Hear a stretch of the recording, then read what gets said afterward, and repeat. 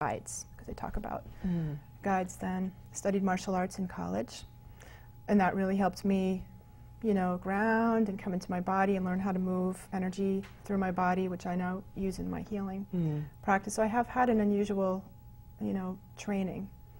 And uh, one of the things that I appreciate about that is that I love to teach people now. That I had to learn everything sort of by yourself. My, yeah, School yeah. of Hard Knocks, my own way. Yeah. And so I really enjoy catching people.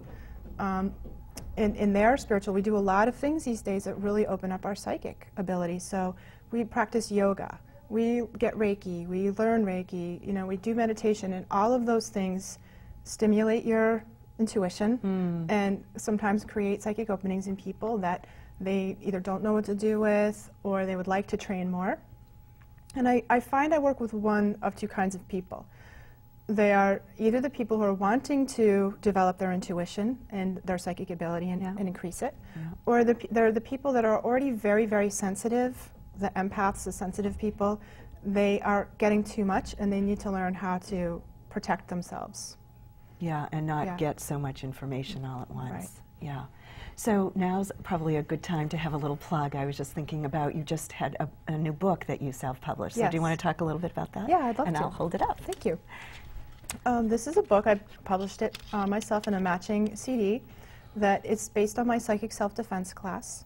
Um, Do you want to say a little bit about sure. what psych psychic self-defense is? It sounds kind of scary, but really what it is is just tools and techniques to help the super sensitive people learn how to deal with the things in life we have to deal with, you know, that, you know, other people's energy or going like there's those kinds of empaths and sensitive have difficulty um, in crowded places or being around people that have strong energy. And the class in the book is um, designed to help, you know, learn how to manage your sensitivity so those people that can then go into the world and do what they want to do. Great. So uh, do you find more people um, believe they have intuition? It seems to be sort of an in thing now. It's right? very hot. Yes, it it's is. all over the media yes, for sure. Yes, it is. And, and I do. I it's much more acceptable. People are more curious about it. It's kind of a new, you know, sexy thing to discover about yourself. And I think that really everyone is psychic. You know, yeah, everyone I is intuitive. So and yeah. I, over the years that we learn, we learn, we shut it down. We learn how not to pay attention. So. And why do you think that is? I, I've seen um, almost like parents do to their kids, you know. So I think when we were children, a lot of times we might have been told, you know, not to see something, not to feel that, or you're being too sensitive. It's, you know, I remember my um, my son is very empathic, and when he was little, he was afraid of places. Like he would go, he was mm. like little guy, like three or four, and he would go in, and it would feel strange to him, and he'd be like, I don't want to stay here, I don't want to be alone here, mm. I don't want to mm. go into the preschool you know, and I could tell he was feeling the energy there. And his teacher would say, now, now, you stop that. Yeah. You know, you're fine. And I think that's what happens is we're, we're told that not, we're taught not to listen to ourselves. Yeah, yeah you know? I think that's true. So how did you escape that?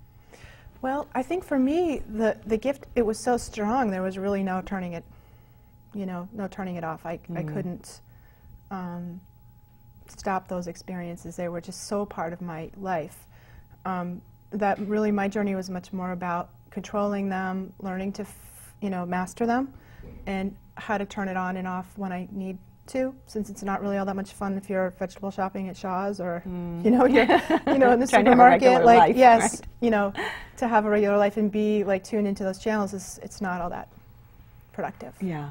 And so what I didn't say a few minutes ago is people can actually order your book.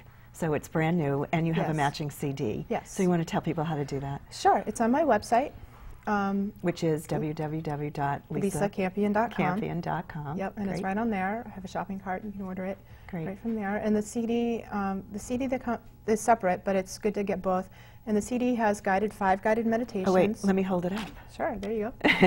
um, it has five guided meditations that are about grounding, clearing, protecting yourself, um, that they're very useful when you're one of them has a little meditation where you can invite your guides in and talk to your guides and find out who your guides are. That's awesome. So the guided meditations I teach them in my, I do them in my classes all the time and I, I found there was you know people wanted to be able to take them home and practice this those kind of meditations at home. So great. So this is perfect for someone who what?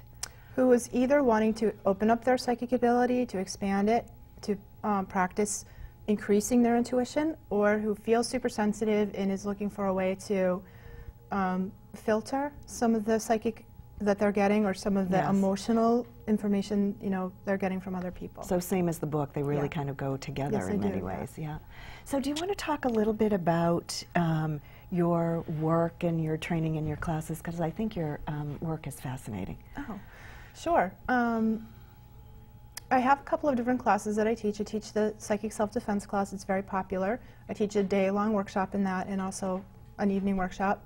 That's really for um, for the empaths, the sensitive people in the world, to really learn how to um, filter the information. I also have a psychic 101 class. Very, that's a lot of fun, and it's a I think the title itself just says it all. Yeah. Psychic 101. How Psychic great 101, is that? you know, Psychic for Dummies. Yeah, I I was just thinking kind that. of call it like that. and, and it really is like a survey class. We cover everything, like what is a soul and what is a guide and what happens when you die and, um, you know, what's the difference between a fairy, an angel, and a earth spirit? Like what, what is all that stuff? Yeah. And at the end of the class, you have, it's kind of basic metaphysics. And at the end of the class, you have, you know, a, a sense of, you know, understanding how your psychic ability works. It's, it's a little bit like a roadmap.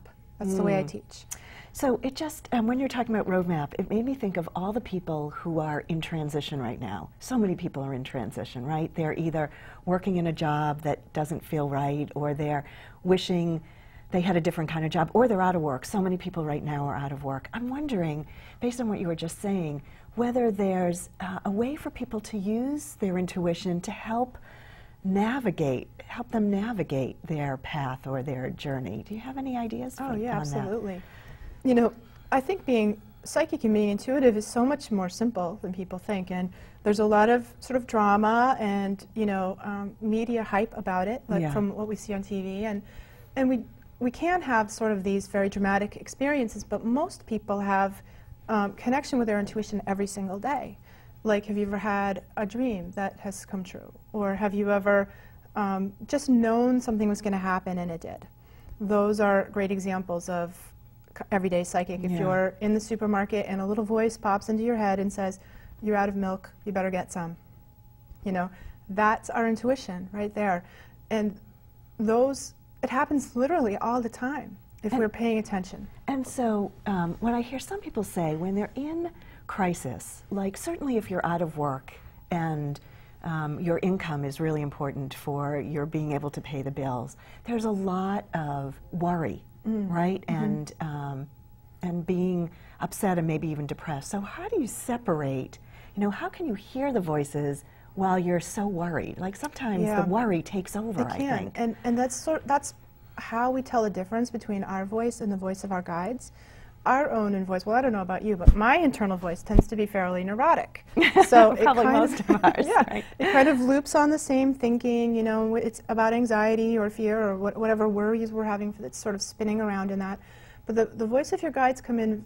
The voice of our intuition comes in very clearly and generally without a lot of emotional content. Hmm. Um, and a lot of times it will be like a hunch, you know, or especially if you're in that situation where you're looking for a job, um, your guidance, your internal intuition, your internal guidance, and your actually your guides will lead you through that by asking you to, to look at things in a new way, to change your perspective and possibly open up to new opportunities. They may guide people into your life that you wouldn't have met other ways. You may suddenly get a hunch that you have to go to this party or this event that somebody invited you to, and you don't know why you need to go, but when you're there, you meet somebody that has a job for you. You know, it's it's tho- following those promptings, inner promptings we have, um, and most of uh, those come through f- sort of feeling our bodies or f- and feeling our emotions. So being aware of what's going on inside, it's paying, paying attention, and then trusting.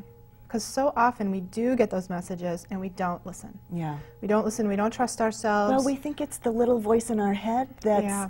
um, that's crazy, Right. right? Or we, our, your mind, like your guidance will tell you something, you should go to that party. And your mind goes, that's silly. Right, I'm why you would I know, do Why that?" would I do that? That's Right. great. You know, so your, our minds come in and block And how do you tell the